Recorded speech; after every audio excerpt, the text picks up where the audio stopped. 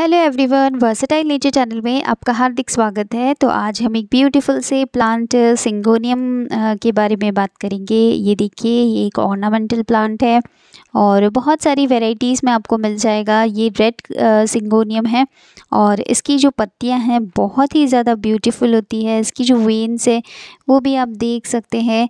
Dark red colour में है। और बहुत ही ज़्यादा अच्छी फॉलेज वाला ये प्लांट होता है। बहुत ज़्यादा अच्छी वेराइटीज़ में ये आता है। इसकी जो पत्तियाँ होती है डिफरेंट डिफरेंट कलर्स में आती है। इसी खूबसूरती की वजह से ये बहुत ही ज़्यादा फ़ेमस प्लांट है। तो चलिए आज इस प्लांट के बारे में इसकी सॉइल प्रोपगेशन और फर्टिलाइज़र वाटरिंग इन सब के बारे में बात कर लेते हैं। अगर आपके पास भी ये प्लांट है तो इस वीडियो को एंड तक ज़रूर देखिएगा। तो सॉइल मिक्स जो है, इसकी आप इस तरीके से बनाएँ कि वेल ड्रेन हो सॉइल मिक्स और एक पार्ट आप इसमें सॉइल ले लीजिए गार्डन सॉइल और एक पार्ट रिवर सेंड और एक पार्ट कंपोस्ट ले लीजिए, और बहुत अच्छी सी जो सॉइल मिक्स है वो बना लीजिए। जहाँ तक पॉट की साइज़ है, वो प्लांट पर डिपेंड करती है और प्लांट जो है, अगर बड़ा है तो आप पॉट साइज़ भी बड़ी लें और अगर प्लांट जो है, वो छोटा है तो आप पॉट साइज़ छोटी ले सकते हैं। इसके लिए अलग अलग प्लांट्स पर ही डिपेंड करेगा, क्योंकि प्लांट्स भी इसके बहुत छोटी सी साइज़ में भी आते हैं। देखिए, ये वाला जो प्लांट है, कितना छोटा है साइज़ में और ये वाला जो प्लांट है, ये देखिए और इन प्लांट्स को देखिए। तो ये प्लांट्स है इनकी साइज़ पर डिपेंड करेगा। इसको कितना बड़ा सा पॉट दिया हुआ है और बाकी जो छोटे प्लांट्स हैं उनको बहुत ही छोटे पॉट दिए हुए हैं। ये जो पॉट है ये बारह इंच तक का होगा और इससे छोटे वाले जो पॉट हैं वो सात से आठ इंच दस इंच और उससे कम इन, आ, में भी आप लगा सकते हैं इस प्लांट को। जहाँ तक इसकी प्रोपगेशन की बात है तो ये जो प्लांट है, ये वाटर और सॉइल दोनों में ही अच्छे से प्रोपगेट हो जाता है। आप देखिए इसकी जो पत्तियाँ हैं, वो कितनी खूबसूरत है।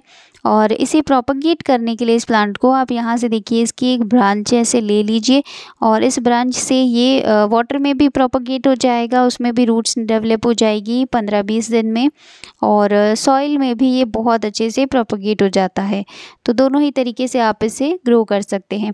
ये कटिंग से भी प्रोपगेट हो जाता है और इसमें एरियल रूट्स निकलती है, जैसे मनी प्लांट में निकलती है। अगर आप इसे बिल्कुल शेडी एरिया में रख देते हैं, जहाँ पे बिल्कुल भी धूप नहीं आएगी, ऐसे एरिया में अगर आप इसे रख देंगे तो ये मनी प्लांट की तरह वाइन बन जाएगा और जो वॉल है आपकी, उस पर ये मनी प्लांट की तरह ग्रो होगा और वैसे ही सेम वर्क करने लग जाएगा। इसमें एरियल रूट्स डेवलप होने लग जाएगी। तो ये इस प्लांट की बहुत ख़ासियत है कि अगर आप इसे धूप में रखते हैं तो ये इस तरीके से मॉर्निंग धूप में कहने का मतलब इनडायरेक्ट जो सनलाइट होती है, उसमें आप इसे रखते हैं तो ये बहुत अच्छे से ग्रो हो जाता है। इसको बहुत ज़्यादा धूप नहीं चाहिए, सिर्फ़ मॉर्निंग की जो सनलाइट होती है, दो से तीन घंटे की, वो इसके लिए काफ़ी होती है। और अगर आप बिल्कुल शेडी एरिया में रख देते हैं तो ये मनी प्लांट की तरह एरियल रूट्स डेवलप करता है और वाइन की तरह वर्क करने लग जाता है।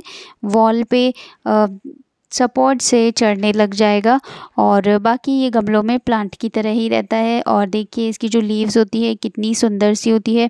बहुत सारी वेराइटीज़ में आपको मिल जाएगा। अभी समर्स में देखिए बहुत अच्छे से ये इसने ग्रोथ की है। तो समर सीज़न जो है वो इसके लिए बहुत ही अच्छा और ग्रोइंग सीज़न है। अब ये विंटर्स में डोमेंसी में चला जाएगा। विंटर्स में इसका रेस्ट पीरियड होता है। इसलिए डोमेंसी में चला जाता है और समर्स में देखिए ये बहुत अच्छी नई नई पत्तियाँ जो है वो डेवलप करता है। ये जो प्लांट है ये कटिंग के अलावा भी प्रोपगेट हो सकता है, ये बेबी प्लांट्स निकालता रहता है।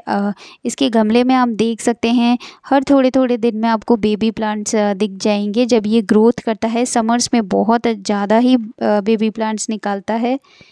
उसके अलावा इसे लीव्स कट करके आप बुशी भी बना सकते हैं। अगर आप चाहें कि इस प्लांट को बुशी बनाना है तो इसकी आउटर साइड की जो लीव्स है, जो गमले से बाहर निकल रही है, उन लीव्स को कट करके आप इसे बुशी बना सकते हैं। ये जो आप प्लांट देख रहे हैं, ये छोटी पत्तियों वाला प्लांट है। इससे भी छोटी, बिल्कुल टीनी साइज़ की पत्तियाँ भी आती है। आप टाइनी साइज़ की पत्तियाँ भी देख सकते हैं। सिंगोनियम में आपको मिल जाएगी। और बहुत सारी वेराइटीज़ भी मिल जाएगी और पत्तियों के जो कलर है वो डिफरेंट डिफरेंट आपको मिल जाएँगे। तो उसके अकॉर्डिंग आप पॉट की साइज़ और ये सब देखिएगा, तभी आप सेलेक्ट कीजिए प्लांट की साइज़ देखकर ही पॉट की साइज़ सेलेक्ट करें। उसके अलावा आप इस तरीके के जो प्लांट्स हैं सिंगोनियम के, देखिए ये ग्रीन वाला सिंगोनियम है और इसका जो शेप है हार्ट शेप है, और बहुत ही ज़्यादा ब्यूटीफुल है और बहुत ही ज़्यादा डार्क कलर है लीव्स का। तो ये इस तरीके के जो सिंगोनियम होते हैं, उनको आप अगर ट्रेल करवाना चाहते हैं तो आप इसे हैंगिंग बास्केट में लगा के करवा सकते हैं ट्रेल। उसके अलावा आप इसे मॉस्टिक देते हैं तो मॉस्टिक की हेल्प से ये बहुत अच्छे से ग्रो हो जाता है और मॉस्टिक में जैसे जैसे आप वाटर डालते रहेंगे, पानी डालते रहेंगे तो वैसे वैसे ये मॉस्टिक पे आगे से आगे ग्रो होता रहेगा।